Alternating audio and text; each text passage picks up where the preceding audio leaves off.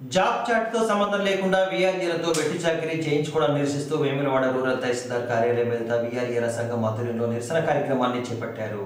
విధులతో సంబంధం లేకుండా రాత్రి వేళల్లో కూడా తమతో పని చేయించుకుంటున్నారని వెంటనే దీన్ని ఆపివేసి తమ న్యాయమైన డిమాండ్లను పరిష్కరించాలని పలువురు వీఆర్ఏలు ఈ సందర్భంగా ప్రభుత్వాన్ని డిమాండ్ చేశారు.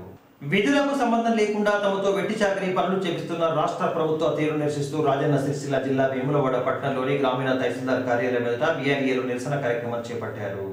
బీఆర్ఏలను అటెండర్లుగా రాత్రి సమయంలో వాచ్మెన్లుగా వాడుకుంటున్నారని ఆవేదన వ్యక్తం చేస్తూ గతంలో తాము చేసిన డిమాండ్లను నెరవేర్చకుండా సమ్మెకాలంలో మిగిలిపోయిన వేతనాలను కూడా ఇప్పటికీ విడుదల చేయలేదని వారు ఆవేదన వ్యక్తం చేశారు.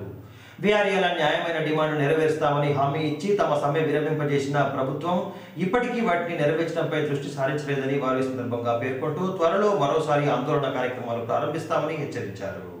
కార్యక్రమంలో వీఆర్ఏల జేఏసీ ప్రధాన కార్యదర్శి మల్లారం అర్జున్ మహేష్ చొప్పర్ తిరుపతి కొంపల్లి రాజేందర్ రాజలింగం మహేష్ దేవేందర్ స్రవంతి కవిత తదితరులు ఉన్నారు.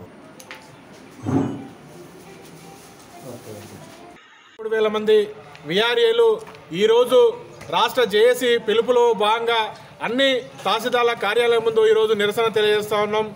నిన్న మొన్న కామారెడ్డి జిల్లాకు సంబంధించినటువంటి విఆర్ఏ మిత్రులు మరి గెస్ట్ హౌస్ విధులు మాకు మేము గ్రామాల్లో ఉండి పనిచేయాల్సింది.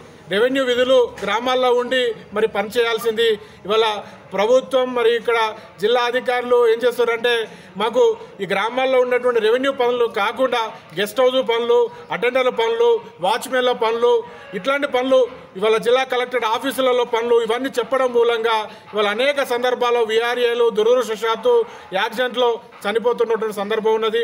మేము అడుగుతాను. ఒకవైపు ఏమో ఈ నైట్ వాచ్మెన్లను అటెండర్లను వీటిని రిక్రూట్ చేయదు ప్రభుత్వం. మరోవైపున ఉన్నటువంటి విఆర్ఏలతోటి అదనపు పనులు చేస్తూ ఉంది.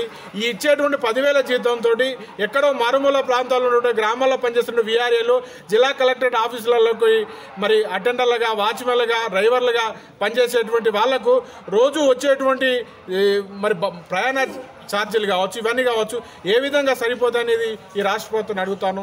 తప్పకుండా తక్షణం ఈ రాష్ట్ర ప్రభుత్వం సమ్మె కాలంలో ఎనభై రోజుల కాలంలో మరి విఆర్ఏలకు ఇచ్చినటువంటి హామీని మునుగోడు ఎలక్షన్ అయిపోయినాక ఎంబటే విఆర్ఏలకు పదోన్నతులు కల్పిస్తామని చెప్తుంది.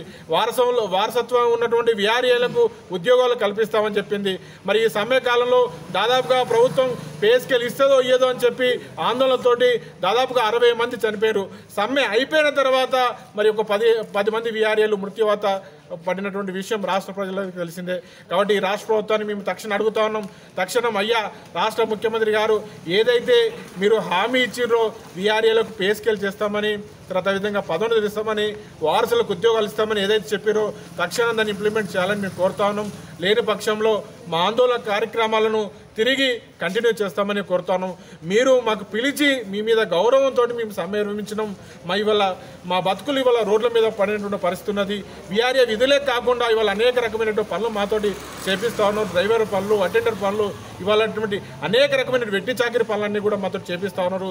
ఇది సరైన వైఖరి కాదు. ఎందుకనంటే ఆ ఆయా పనులు చేసేటువంటి జీతాలకు సుమారు సుమారు ఒక స్కేల్ పోస్ట్ ఉద్యోగస్తులకు ఇరవై ఐదు వేలు వాచ్మెన్లకు కానీ లేకపోతే అటెండర్లకు కానీ ఇరవై ఐదు వేలు ముప్పై వేల జీతం ఉంటుంది. కానీ వే విఆర్ఏలకు కేవలం పదివేల జీతంతో ఇట్లాంటి పనులు అన్నీ కూడా చెప్పిస్తున్నారు. వాళ్ళ ప్రమాదశాతం పడితే ప్రమాదశాతం చనిపోతే వాళ్ళ కుటుంబాలకు దిక్కు తోచినటువంటి పరిస్థితిలో ఉన్నారు. ఇవాళ దాదాపుగా ఈ కాలంలో సమ్మె కాలంలో చనిపోయినటువంటి వాళ్ళు సమ్మె తర్వాత చనిపోయిన వాళ్ళు దాదాపుగా వంద మంది విహారీలు ఉన్నారు. వారి కుటుంబాలను తక్షణం ఈ రాష్ట్ర ప్రభుత్వం అందుకోవాలి.